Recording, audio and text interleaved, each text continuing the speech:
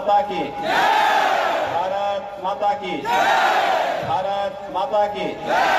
वंदे। वंदे। वंदे। राहुल गांधी के नेतृत्व में कांग्रेस और वे दल हैं, जिन्होंने विकास नहीं बल्कि विनाशकारी विभाजन की राजनीति करके देश को हर पायदान पर भाइयों, बहनों, आप सब जानते हैं कांग्रेस की विकास की कोई सोच नहीं। और यही कारण है कि उन्नीस के पहले के गुजरात को आप देखिए, जिस गुजरात में न सड़क थी, न बिजली थी, न पानी था, केवल दो कार्य गुजरात में कांग्रेस के समय होते थे, या तो भ्रष्टाचार चरम पर था, या दंगे होते थे। भारतीय जनता पार्टी और नरेंद्र भाई मोदी के मुख्यमंत्री बनने के साथ ही दंगे समाप्त हो गए, भ्रष्टाचार समाप्त हुआ और विकास की ओर गुजरात आगे बढ़ा और देश और दुनिया के लिए मॉडल बना है। अब सोचिए ना कि किस रूप में आज गुजरात का सम्मान दुनिया में होता है। अमेरिका तो दुनिया की सबसे बड़ी ताकत है ना? दुनिया की सबसे बड़ी सामरिक ताकत है। लेकिन राहुल गांधी अपने संसदीय क्षेत्र में डिस्ट्रिक्ट मजिस्ट्रेट का कार्यालय नहीं बना पाए। जो व्यक्ति अपने स्वयं के संसदीय क्षेत्र को नहीं संभाल सकता, वह व्यक्ति गुजरात के विकास पर प्रश्न खड़ा कर रहा है। और इसलिए खड़ा कर रहा है क्योंकि राहुल गांधी की कांग्रेस ने जब सरदार सरोवर डैम के माध्यम से गुजरात के अंदर पानी पहुँचाने की बात हो रही थी तो राहुल गांधी की कांग्रेस ने विरोध किया था। भाइयों बहनों, देश के अंदर विकास हो, देश के अंदर पब्लिक ट्रांसपोर्ट सिस्टम को और तेज किया जाए और देश के अंदर बुलेट ट्रेन की परिकल्पना को साकार करने के लिए जब नरेंद्र भाई ने गुजरात की धरती को चुना तो कांग्रेस ने इसका भी विरोध किया। यानी विकास की उनकी कोई सोच नहीं। उनको तो ऐसा कार्य चाहिए जिसमें दंगे हो, समाज को बांट सकें और पीड़ित जो समाज हो, उसी को उठा करके बंद कर सकें। नरेंद्र भाई के आने के बाद गुजरात के दंगे बंद हुए गुजरात की गुंडागर्दी बंद हुई। गुजरात में व्यापारियों का पीड़न बंद हुआ है। जिस पीढ़ी ने विकास को अपनी आँखों के सामने देखा है जिसने गुजरात के दंगों को नहीं देखा है जिसने गुजरात की अराजकता को नहीं देखा है हो सकता वे लोग कुछ भूल कर रहे हों। लेकिन सामान्य रूप से आज गुजरात में हर व्यक्ति सुरक्षित है इसलिए भाजपा के कारण।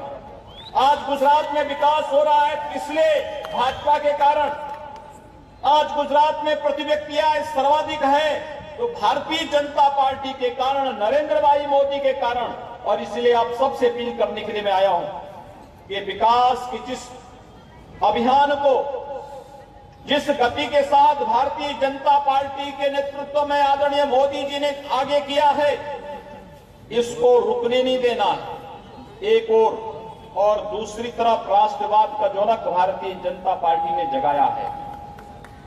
आज आप देख सकते हैं, कांग्रेस की सरकार थी।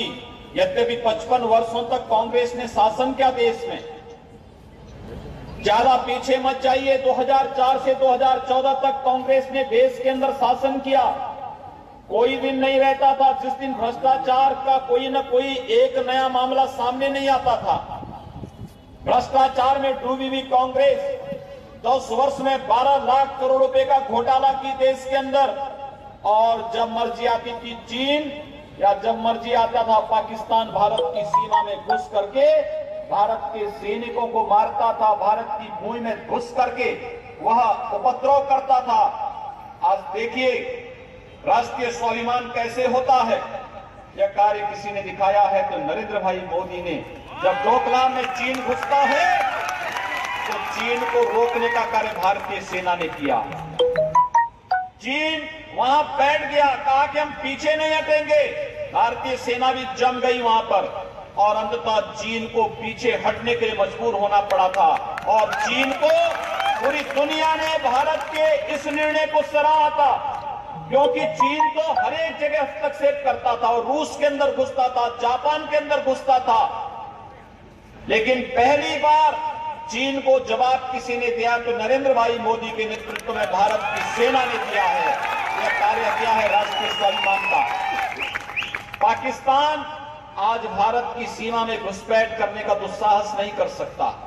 उसे मालूम है कि अब भारत की सीमा में घुसा नहीं, कि पाकिस्तान के और दो टुकड़े हुए नहीं।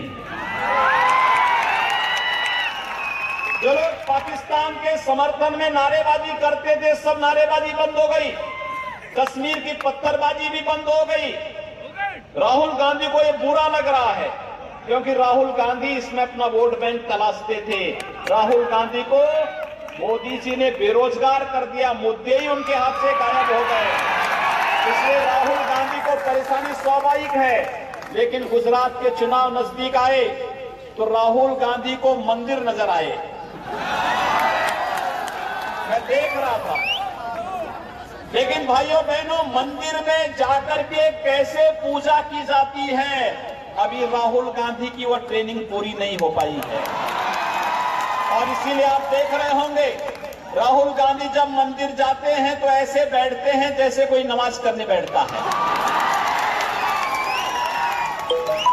एक पुजारी को डांटना पड़ा कि भैया, ये मंदिर है, मस्जिद नहीं है। तो मुझसे पुजारी से बात हुई। मैंने कहा, क्यों डांटा भाई मंदिर में? उसने कहा, मैं यही नहीं समझ पा रहा था कि व्यक्ति यहाँ क्यों आया है। तो तब मेरी समझ में आया। भाइयों बहनों 2005 की घटना भूले नहीं होंगे। जब कांग्रेस की सरकार थी, कांग्रेस की सरकार ने राम सेतु को तोड़ने का निर्णय लिया था। देश के धर्माचार्यों ने आंदोलन प्रारंभ किया था। मामला सुप्रीम कोर्ट में गया था और यही कांग्रेस थी जिसकी सरकार ने कहा था कि राम और कृष्ण का तो अस्तित्व ही नहीं है। यानी सीधे सीधे आस्था के साथ खिलवाड़ करने का कार्य कांग्रेस ने किया था और कांग्रेस जब भी अवसर मिला है, कांग्रेस ने ही किया। आप जान सकते हैं, उत्तर प्रदेश क्यों पिछड़ा? क्योंकि उत्तर प्रदेश में जातिवाद और वंशवाद की राजनीति थी। बिहार क्यों पिछड़ा? जातिवाद और वंशवाद की राजनीति के नाते आज उत्तर प्रदेश और बिहार जातिवाद और वंशवाद की राजनीति से उबर करके विकास और राष्ट्रवाद के पथ का अनुसरण करते हुए आदरणीय नरेंद्र भाई के नेतृत्व में तेज़ी के साथ आगे बढ़ रहा है। और मैं आपसे यही आग्रह करने के लिए आया हूँ कि जिस बीमारी को उत्तर प्रदेश और बिहार ने छोड़ दिया है उस बीमारी को गुजरात के अंदर मत घुसने दीजिए। क्योंकि गुजरात गुजरात के अंदर जातिवाद की जिस नई राजनीति को लेकर के कांग्रेस आई है, मुझे आश्चर्य हो रहा था। जब राहुल गांधी की कांग्रेस कहती है कि राहुल गांधी तो जनोदारी हिंदू हैं, हमारे यहाँ तो हिंदू की ऐसी कोई परिभाषा है ही नहीं। हमारे यहाँ तो आप जनेऊ रखें या न रखें आप चोटी रखें, न रखें, तिलक लगाएँ, न लगाएँ। हर व्यक्ति हिंदू है। जो भारत का है वह हिंदू है। और मुझे लगता है, मैं कभी कभी जाकर के देखता हूँ, एक बार गोरखपुर की एक घटना घटित हुई। हज यात्रा करने के लिए कुछ गोरखपुर के मुस्लिम भाई गए थे। कैंप में आग लग गई दस लोग मर गए। वे लोग उनकी डेड बॉडी वहाँ से आनी थी तो उनके परिवार के लोग मेरे पास आए। तो मुझे बड़ा आश्चर्य हो रहा था। मैंने कभी कैंप में आग लगी तो भाग्य क्यों नहीं? उन्होंने कहा, सऊदी अरब में हमारे साथ बड़ा भेदभाव होता है। तो मैंने कहा, क्या करना है? उन्होंने कहा, साहब, जब हम लोग सऊदी अरब में हज करने जाते हैं तो हमारी पहचान वहाँ हिंदू के रूप में होती है, मुसलमान के रूप में नहीं होती यानी हिंदू कोई जाति नहीं, कोई उपासना विधि नहीं, हिंदू कोई मत और कोई मज़हब नहीं, यह भारत की एक सांस्कृतिक पहचान है। यह भारत की पहचान है और भारत की इस पहचान को भी राहुल गांधी बांटने से परहेज नहीं किए। चाहे जनेऊधारी हिंदू हों। आज उनको जनेऊधारी हिंदू नज़र आता है, लेकिन जब अमेरिका के राजदूत से मिलते हैं तो कहते हैं कि मुझे हिंदुओं से डर है लश्कर तोयबा से डर नहीं है। राहुल गांधी से पूछा जाना चाहिए कि लश्कर तोयबा तुम्हारा हितेशी हो गया और भारत के जिन हिंदुओं को दुश्मन मानते थे, आज उनके पास फिर क्या काम आए हो? कि कपिल सिब्बल ने सुप्रीम कोर्ट में जो बात कही है, कांग्रेस उससे कितनी सहमत है? अगर कांग्रेस उससे सहमत है इसका मतलब राम जन्मभूमि से संबंधित विवाद का समाधान शांतिपूर्ण ढंग से सौहार्दपूर्ण तरीके से कांग्रेस नहीं चाहती है। और वह इसीलिए बार बार इस मामले को लटकाना चाहती है। कपिल सिब्बल का यह कहना कि जुलाई 2019 से पहले राम जन्मभूमि से संबंधित विवाद का कोई भी हल नहीं निकलना चाहिए, कोई सुनवाई नहीं होनी चाहिए। ये सीधे सीधे न्यायालय कार्य के कार्य में हस्तक्षेप के साथ साथ इस देश की जनभावनाओं का अपमान करना भी है। एक कांग्रेस की फितरत है अपमान करना। कभी वह श्री राम और श्री कृष्ण के अस्तित्व पर प्रश्न खड़ा करती है। मेरे लिए तो बहुत अफसोसजनक स्थिति हो जाती है, क्योंकि मैं उत्तर प्रदेश से और उत्तर प्रदेश, भगवान राम की जन्मभूमि, ये दुनिया जानती है।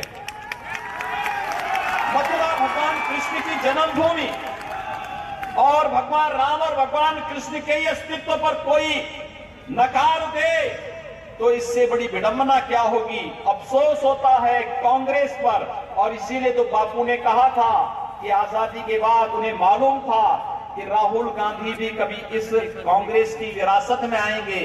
इससे पहले आए, इस कांग्रेस को विसर्जन कर देना चाहिए।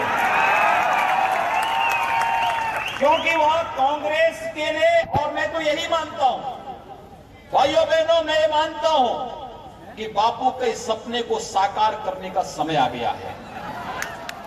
राहुल गांधी का मतलब राहुल गांधी जिस भी प्रदेश में कांग्रेस के प्रचार में गए, कांग्रेस डूब गई। आप सोचिए 2014 में लोकसभा के चुनाव हुए। मैं धन्यवाद दूँगा गुजरात की जनता को, जिन्होंने सभी सीटें भारतीय जनता पार्टी को जिता करके भेजा। कांग्रेस को एक भी सीट नहीं दी। ये कांग्रेस विकास देश का नहीं कराई। सबसे अधिक दिनों तक शासन की है।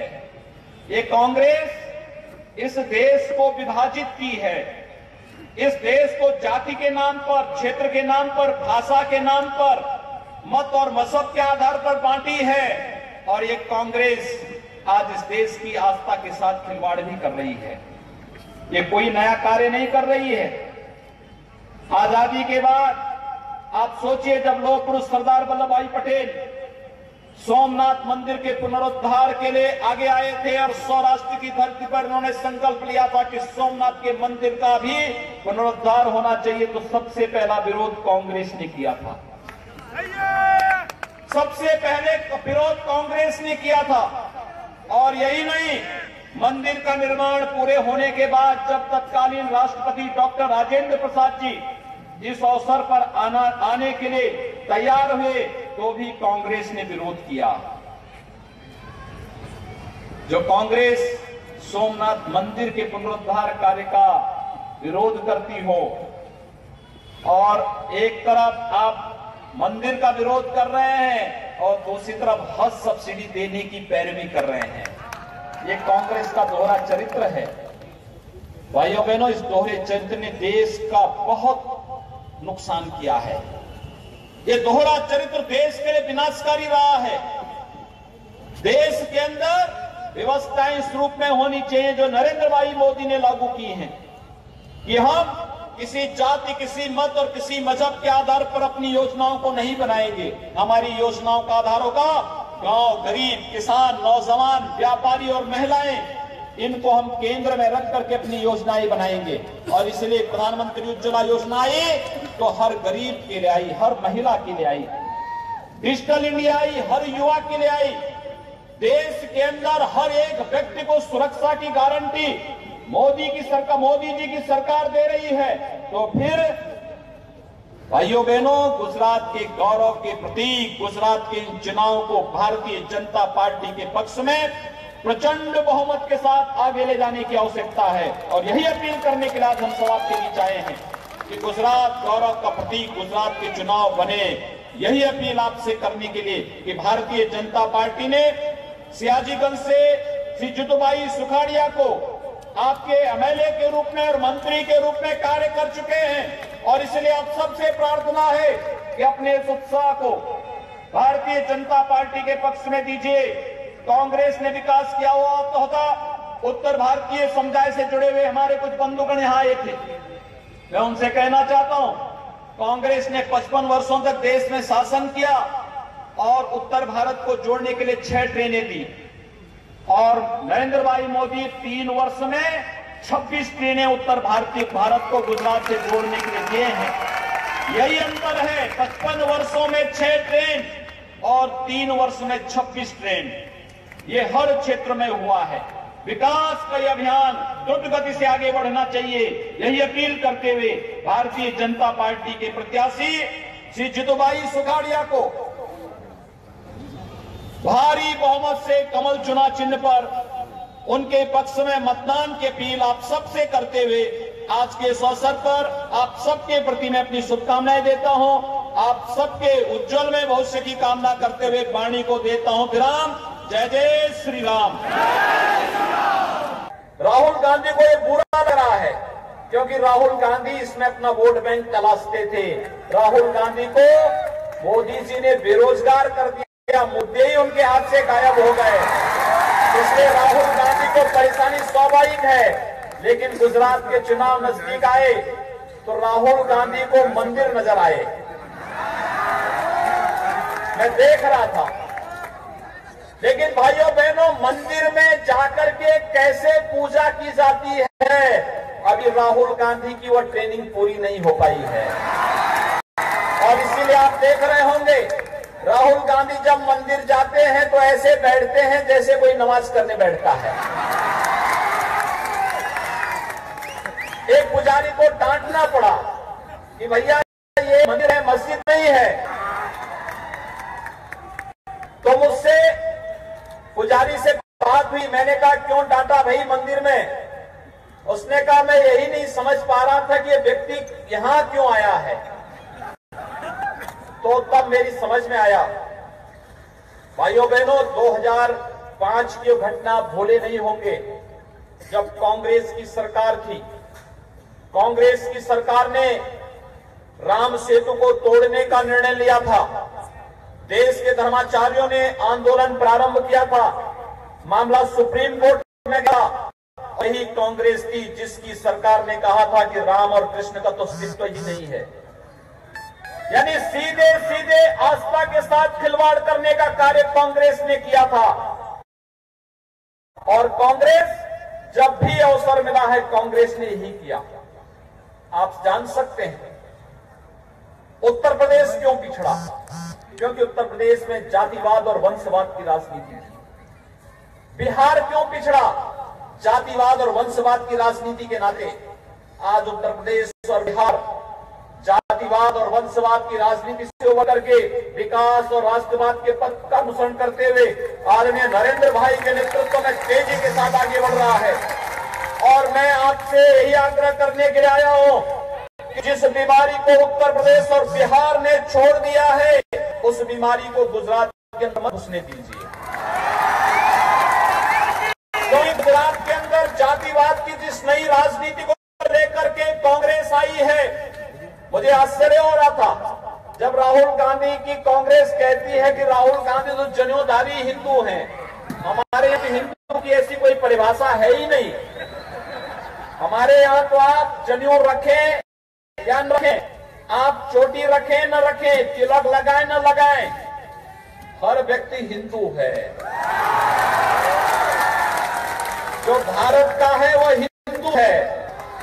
और मुझे लगता है, मैं कभी कभी जाकर के देखता हूँ, एक बार गोरखपुर की एक घटना घटित हुई हज यात्रा करने के लिए कुछ गोरखपुर के मुस्लिम भाई कैंप में आग लग गई, दस लोग मर गए।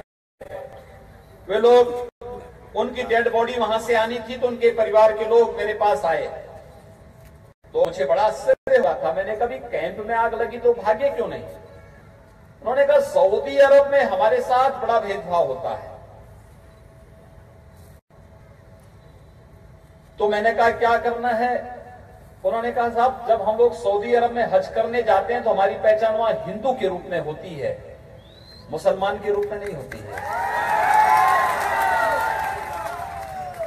यानी हिंदू कोई जाति नहीं, कोई उपासना विधि नहीं, हिंदू कोई मत और कोई मज़हब नहीं।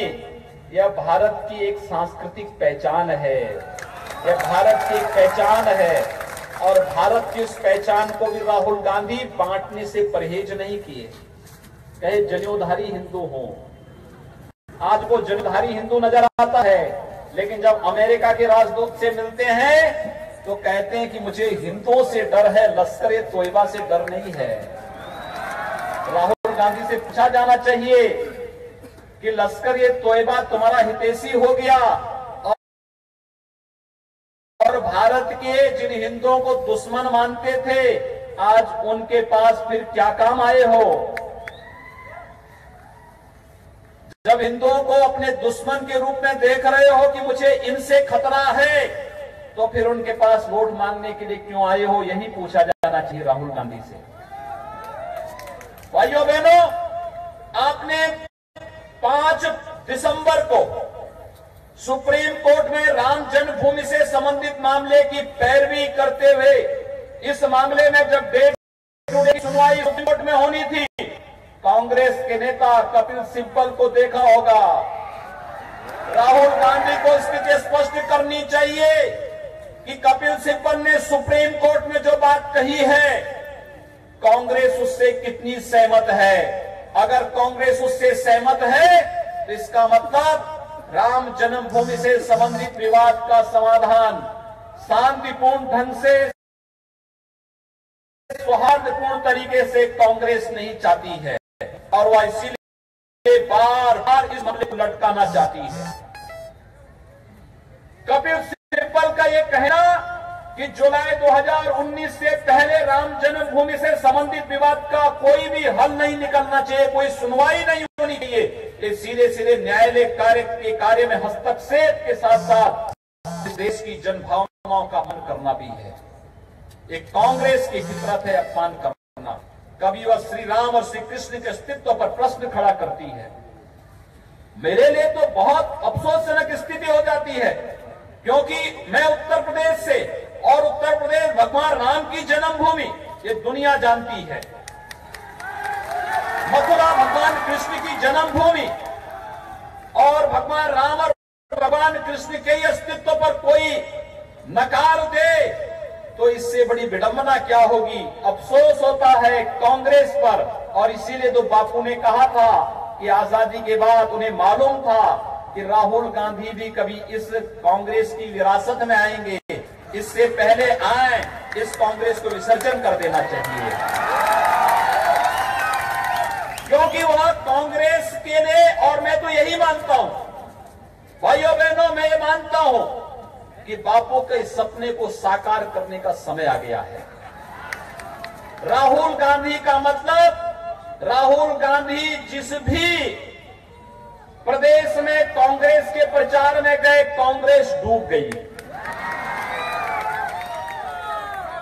आप सोचिए 2014 में लोकसभा के चुनाव में मैं धन्यवाद दूँगा गुजरात की जनता को, जिन्होंने सभी सीटें भारतीय जनता पार्टी को जिता करके भेजा।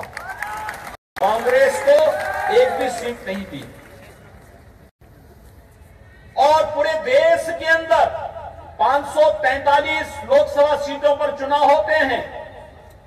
कांग्रेस केवल 44 सीट पाई है। यानी अब तक के इतिहास में सबसे कम सीटें। और मुझे लगता है कि राहुल गांधी के समय एक और नया कीर्तिमान स्थापित होने जा रहा है। कि राहुल गांधी की ताजपोशी के साथ गुजरात कांग्रेस मुक्त हो जाएगा। इसमें कोई संदेह कहीं से नहीं रहनी चाहिए। और यही प्रार्थना करने के लिए मैं आपके पास आया हूँ आपसे कहने के लिए। ये कांग्रेस विकास देश का नहीं कराई। सबसे अधिक दिनों तक शासन की है। ये कांग्रेस इस देश को विभाजित की है। इस देश को जाति के नाम पर, क्षेत्र के नाम पर, भाषा के नाम पर, मत और मज़हब के आधार पर बांटी है। और ये कांग्रेस आज इस देश की आस्था के साथ खिलवाड़ भी कर रही है। ये कोई नया कार्य नहीं कर रही है। आज़ादी के बाद आप सोचिए जब पुरुष सरदार वल्लभ भाई पटेल सोमनाथ मंदिर के पुनरुद्धार के लिए आगे आए थे और सौराष्ट्र की धरती पर उन्होंने संकल्प लिया था कि सोमनाथ के मंदिर का भी पुनरुद्धार होना चाहिए तो सबसे पहला विरोध कांग्रेस ने किया था। सबसे पहले विरोध कांग्रेस ने किया था। और यही नहीं, मंदिर का निर्माण पूरे होने के बाद जब तत्कालीन इस पर आना, आने के लिए तैयार हुए तो भी कांग्रेस ने विरोध किया। जो कांग्रेस सोमनाथ मंदिर के पुनरुद्धार कार्य का विरोध करती हो, और एक तरफ़ आप मंदिर का विरोध कर रहे हैं और दूसरी तरफ़ हज सब्सिडी देने की पैरवी कर रहे हैं। ये कांग्रेस का दोहरा चरित्र है। भाइयों बहनों, इस दोहरे चरित्र ने देश का बहुत नुकसान किया है। ये दोहरा चरित्र देश के लिए विनाशकारी रहा है। देश के अंदर व्यवस्थाएँ इस रूप में होनी चाहिए जो नरेंद्र भाई मोदी ने लागू की हैं कि हम किसी जाति, किसी मत और किसी मज़हब के आधार पर अपनी योजनाओं को नहीं बनाएँगे। हमारी योजनाओं का आधार होगा गाँव, गरीब, किसान, नौजवान, व्यापारी और महिलाएँ। इनको हम केंद्र में रख करके अपनी योजनाएँ बनाएँगे। और इसलिए प्रधानमंत्री उज्ज्वला योजना आई तो हर गरीब के लिए आई, हर महिला के लिए आई। डिजिटल इंडिया आई, हर युवा के लिए आई। देश के अंदर हर एक व्यक्ति को सुरक्षा की गारंटी मोदी की सरकार, मोदी जी की सरकार दे रही है तो फिर भाइयों बहनों, गुजरात के गौरव के प्रतीक, गुजरात के इन चुनाव को भारतीय जनता पार्टी के पक्ष में प्रचंड बहुमत के साथ आगे ले जाने की आवश्यकता है। और यही अपील करने के लिए आज हम सब आपके बीच आए हैं कि गुजरात गौरव का प्रतीक, गुजरात के चुनाव बने। यही अपील आपसे करने के लिए कि भारतीय जनता पार्टी ने सियाजीगंज से श्री जुदुबाई सुखाड़िया को आपके एमएलए के रूप में और मंत्री के रूप में कार्य कर चुके हैं और इसलिए आप सबसे प्रार्थना है कि अपने इस उत्साह को भारतीय जनता पार्टी के पक्ष में दीजिए। कांग्रेस ने विकास किया हुआ तोहदा, उत्तर भारतीय समुदाय से जुड़े हुए हमारे कुछ बंधुगण यहाँ आए थे। मैं उनसे कहना चाहता हूँ, कांग्रेस ने 55 वर्षों तक देश में शासन किया और उत्तर भारत को जोड़ने के लिए छह ट्रेनें दी।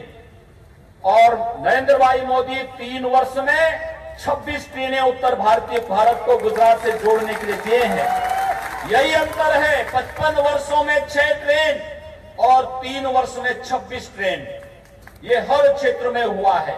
विकास का यह अभियान द्रुत गति से आगे बढ़ना चाहिए, यही अपील करते हुए भारतीय जनता पार्टी के प्रत्याशी श्री जितुभाई सुखाड़िया को भारी बहुमत से कमल चुनाव चिन्ह पर उनके पक्ष में मतदान की अपील आप सबसे करते हुए आज के इस अवसर पर आप सबके प्रति मैं अपनी शुभकामनाएँ देता हूँ। आप सबके उज्जवल में भविष्य की कामना करते हुए वाणी को देता हूँ। ग्राम जय जय श्री राम। भारत माता की। हुई उपस्थित